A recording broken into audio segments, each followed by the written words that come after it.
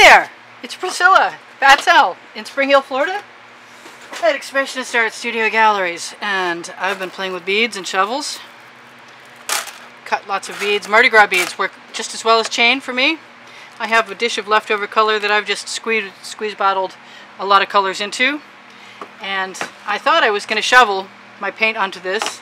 First I'm going to make sure my OXO paint spreading miracle spatula called an omelet turning spatula by OXO. Also available on my Amazon link just below the video description. Best, best tool I've come across in 16 months or more of spreading paint. Never, no looking back. Buy the big one, it's cheaper and it's better. I know I have a pair of glasses and that is to be a good thing to put on my face because then I can do what I need to do, which is see the difference between canvas and white paint. Alright, so I've been spreading my paint a little thicker and I've been playing with the beads. I don't know what I'm going to do. I'm sure it'll be in the description underneath the video along with my wet and dry Facebook link to the to the YouTube video artworks. So I've played with that long enough. There's also a Pinterest link down there and uh, Patreon and PayPal. Um, I'm going to take my Princeton Catalyst spatulas, I especially like the flat front one, and I'm just going to dump all of this painting, all of this paint. Yeah, I'm going to dump it all. I'm going to scrape it down and clean my pan right out. I thought about adding a little blaster silicone, but I think what I'm going to do is get as much paint out of there as I can possibly manage. Throw this puppy in the bucket. Clean my spatula off with my nice wet rag. One of two I've handy because I usually lose one in the process of painting. Throw that back there. And I can do almost anything I want. Let's start with an edge catcher which is a sheet of plastic that came out of a 16 by 20 pack of Michael's 16 by 20 canvases. Bulk pack. So I like the idea of seeing what happens. I'm going to let it all run down, tip it back and forth so it covers the edge. I'm going to put that down for a moment. I love most of what I've got going there, but the problem is that I'm going to lose some of it. And I like it so much, that purple color, that I'm just going to have at it. I'm just going to add it right to it because it looked good and I think it's going to stay looking good. And I'm going to pick a new clean spot and let it all run down there and pull right up. And I'm not going to let it go back too far this time, and I did slide on the edge. I'm going to keep observing my pattern and seeing where I want my paint to go.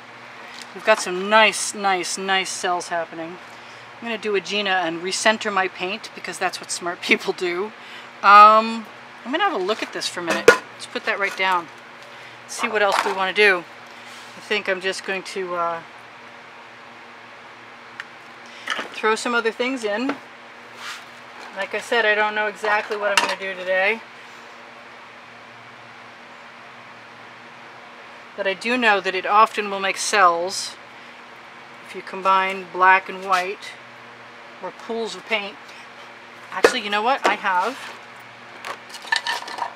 a piece of medical tubing that you can use replace with a bendy straw pretty easily if you want to do this.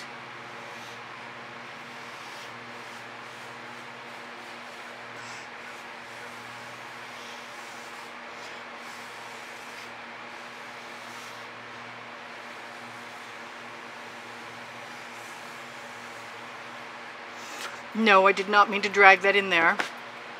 Um, I do want some more of that. There are no rules for me. I do what I want. And that right there is what I want. I wonder if I can get it back again. I really want that purple over that white. So much so, I'm willing to try anything to get it. Including putting up with or receiving, I should say, or allowing it to just be what it wants to be. I think I'm going to touch up my edge as long as I'm here because that's the color we're going to be covering it with, obviously. What else do I want in here? I kind of love that, you know what? I really do love that Bahama Blue. That's not it. Is that it? No, that's not it. But that would be kind of nice contrast. So I'm going to take a little bit of that, hopefully not too awful much. Bring it right up over the side. Tap some of it down with my finger.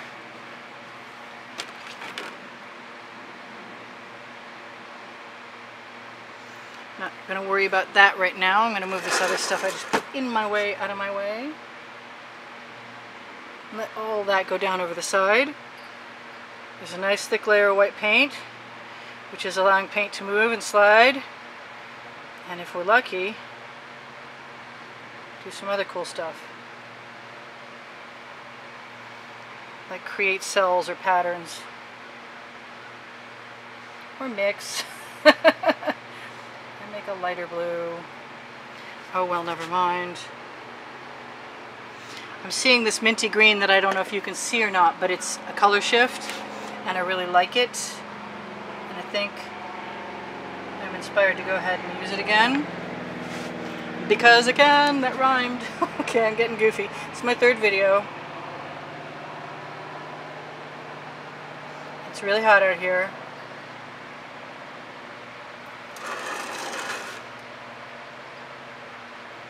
That's really mixing a lot. I guess we're going to have a new experiment. We're going to find out what happens when you mix white paint and color shift paint. But uh, I'm loving rolling my skewer around with the paint that's on it on the sides of the canvas and covering them. It's working really, really well. And I like that green so much. I think I'm going to throw some of it over there and see what happens when I mix it in with the Bahama Blue. Come back over here, see if I can get some Bahama Blue off my skewer. What else do I want to do? I want to move that down. I didn't really want to do a lot of stuff in there. I do want some black. And I also want to move that even further up and over. So, where am I going to put my black? I guess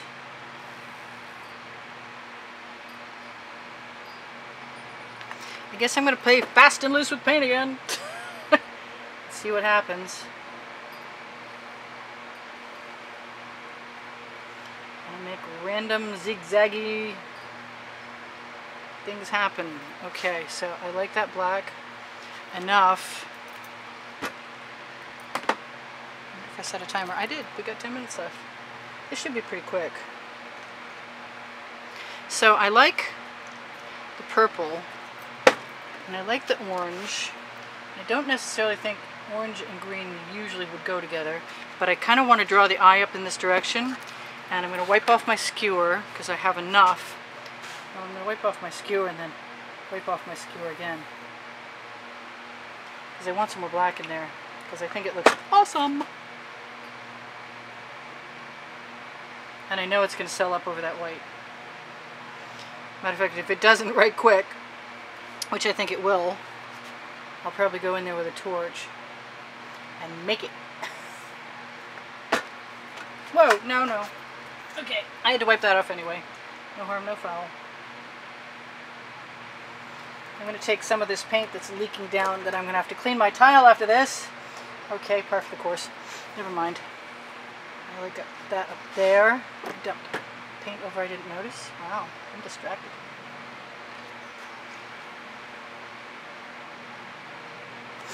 I'm liking that a lot. I wonder if I'll like it as much tomorrow when it dries. I like all of this. Because of that nice thick layer of white paint, we can drag all kinds of stuff in and through and make marks, other stuff, and have it work out quite nicely.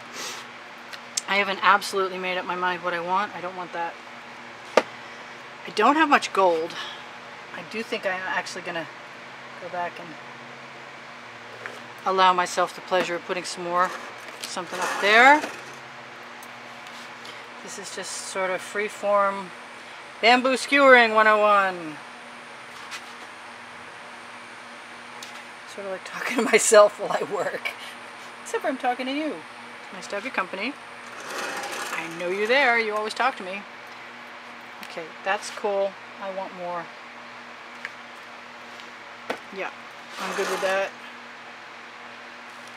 I got some beautiful colors in here. I don't know how they're going to dry tomorrow. I'm going to lay down whatever's on my skewer and roll it sideways and let it become part of the pattern. Try and take stock of what it's doing so if I want to change it while I have the chance I will. I got nothing happening down there. I really, I could go in here with something else and change everything if I wanted to right now, but I don't. I'm willing to take a chance that it's going to be okay tomorrow. I did put some orange up there, and then I didn't do anything with it, and I want to. I think I want some lighter orange, and if I don't like it, I'll change it.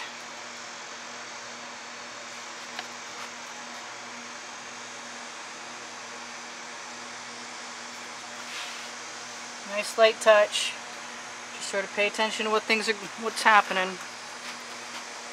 I've got a place I want to put just a thin line of paint, so I'm going to just apply the paint right to right to my skewer and let it roll around. Then I'm going to take my leftover again and again and again and let it be on the side by rolling it.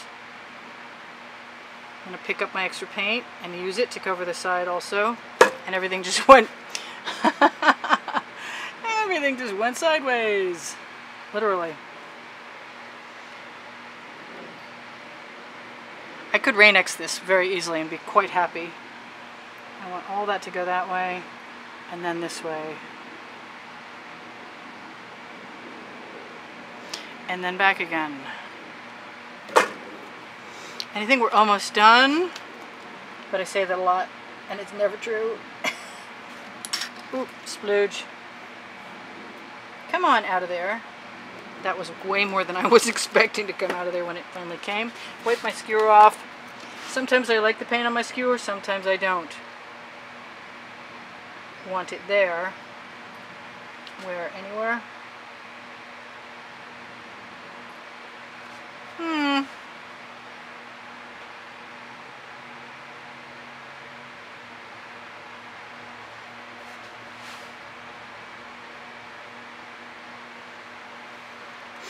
I just get inspired by sticking my skewer in things once in a while and let whatever's going to happen happen. And this is one of those. And I will check my edges. I got plenty of wet paint.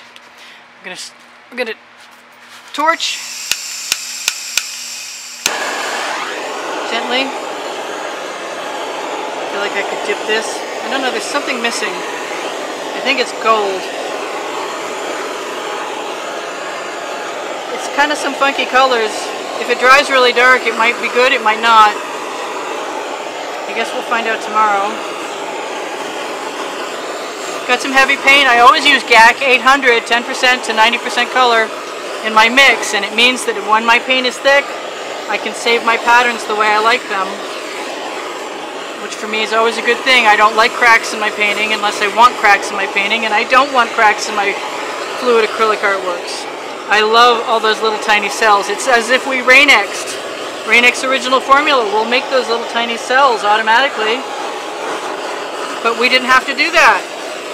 That's pretty cool. That's some great texture. I'm loving that. I kind of want to put some black over here. We got four minutes left, and I can do that if I want unless I made, unless I cooked my paint, which does happen occasionally. Yeah, I cooked my paint. Oh well. Starts to set up. Doesn't matter. It'll be alright. Paint will rehydrate paint too. Nope, no need to panic. Just pull your clumps out. it's not the end of the world. I like that little black spot there. Kind of inclined to do it again over here.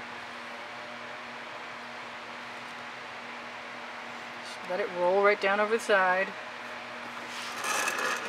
Yep, not bother me a bit. Cool. I'm good with that. Do I want to do anything else? I want to throw these beads right in there and see what happens, but...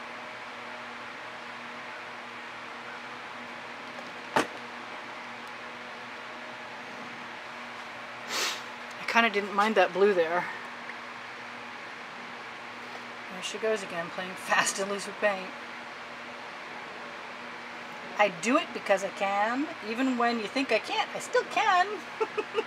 and that's why I do, and that's why I say you can too.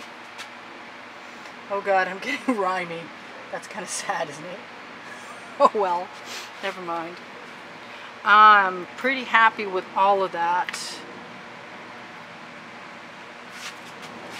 Love that green, mint green. That is a folk art color shift.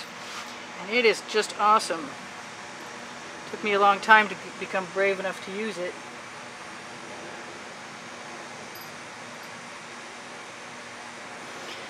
I think I wouldn't have minded a little more Prussian blue in there. I think I like it from my vantage point. I don't mind it from that vantage point. I don't mind it from that vantage point. I'm pretty happy with that for a nice little 16, 12 by 16. And I'm going to call it good and put my tools away. And I'm going to tell you Again, if you want to find my wet and dry artworks, there's a Facebook link under the under the video on at the end of the description, along with my Pinterest boards. Um, there's a Patreon, Patreon, and a PayPal header link on my YouTube header icons. Tongue-tied today. And also the links are in the description, along with my paint recipe and the description of how I get shimmery paints when I want them by adding golden. Anyway, it's all there. Sometime you ought to read it. I don't know if anybody ever reads it, but I'm sure somebody does. Anyway, that's the end for now. And this is Priscilla in Spring Hill, Florida at Expressionist Art Studio saying, this was a great day. Thanks for joining me. And I appreciate all my contributions from all my contributors. And um, I will see you in the next video. Have a wonderful whatever time of day or year or whatever it is where you are. I hope it's awesome. Talk to you soon. Bye for now.